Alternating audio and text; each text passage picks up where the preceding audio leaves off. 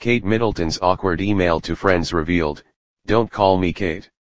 Kate Middleton made a very awkward request to her friends regarding her name, unearthed documents have revealed. In 2008 there was much speculation that Prince William would soon propose to his long-term girlfriend and that she was preparing to become a royal. She has recently attended his RAF graduation and gone to a royal wedding in his place. Kate had even asked her friends to stop calling her Kate, and start referring to her as Catherine. He wrote, with Prince William's engagement now a surefire certainty, even Ladbrokes has stopped taking bets on whether it will happen after a flurry of well-placed wagers, there are intriguing signs that Kate Middleton is preparing for her future role. It looks like she's taking it very seriously indeed too.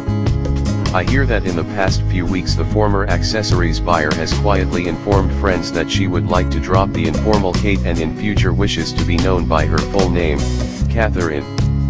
This request was made via an email, in which she was reportedly gentle and very jokey, according to royal expert Daniela Elser. However, that did not stop friends from being a little taken aback by it. One friend told Mr. Helliker, everyone knows it's about to happen with Kate and William, but we were a little surprised about the request to call her Catherine. There is a distinct feeling she has started to become very aware of her position. According to Mr. Helliker, the now Duchess of Cambridge was known by Catherine at her school, Marlborough College. However, it was apparently shorted to Kate at St. Andrews University, which is where she met William. Nevertheless, it is reportedly royal protocol to be referred to by your full name and Catherine was considered to be more dignified and more royal. Therefore, the future Duchess of Cambridge took the opportunity to try and shift her image from that of ordinary Kate to the more royal Catherine.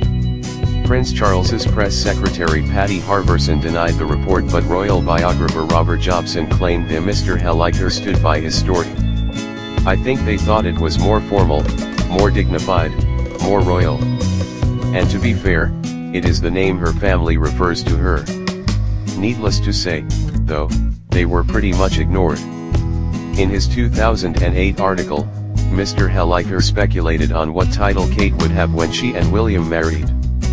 He said, one possibility is that the Queen will grant William a new title, as she did with her sons Prince Andrew, who became the Duke of York, and Edward, the Earl of Wessex. Kate continued to push for Catherine in the years ahead.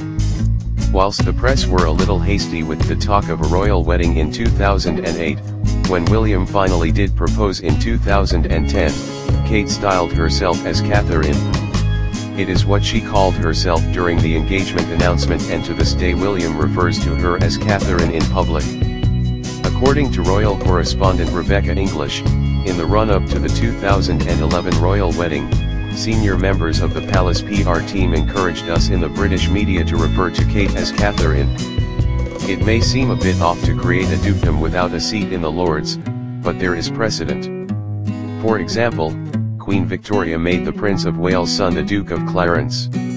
She could make William the Duke of wherever she wants really. This eventually came to pass, as William and Kate were bestowed the title Duke and Duchess of Cambridge.